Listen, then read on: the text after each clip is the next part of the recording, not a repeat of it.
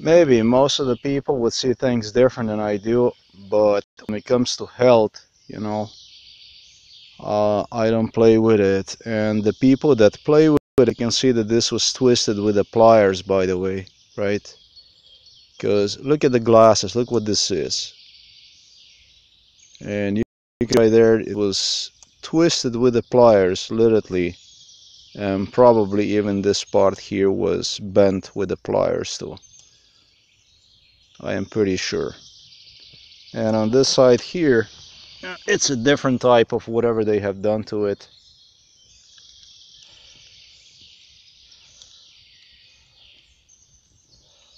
And so this makes it light it is and so that thing would also not stand properly but if you look at like this it just it just stands like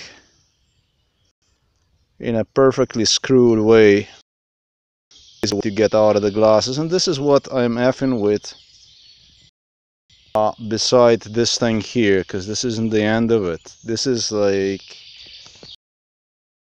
side I can't even see with this stuff really okay this is basically with the glasses. Okay this is with the right side. This is how I see it and this here this is with this is with the left side. So because it's all scratched. How much can you see scratches? Right now you cannot see them because it's morning there is no sun but believe me this is so yeah you can see it. Look what this is. These are scratches. See that? Those are scratches. It's all scratched like this.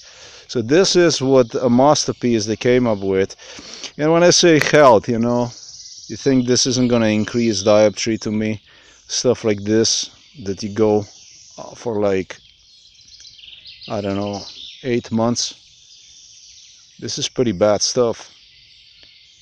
Actually nine months. Violent. What is this if this is not violence? No wealthy people would trade health for a money, I can tell you that. Not even poor people would. This is the kind of stuff that definitely cost you. And it already cost me in the past.